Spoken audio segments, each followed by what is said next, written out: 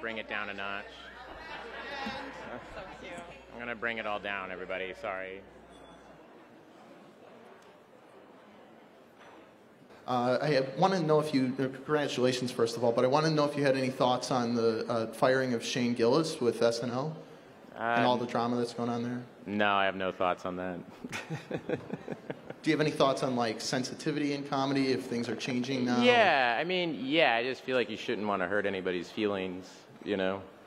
Espe- But I think also, you know, especially in comedy, you do stuff uh, six or seven years ago that wouldn't be okay now, and probably for good reason. You know what I mean? So I think a lot of us are, you know, I, I only speak for myself, but there's, you know, like everybody, you have to kind of grow, and so I, I think it's a good thing. I don't, uh, yeah, I'm never interested in, um, uh, you know, upsetting anybody. You know.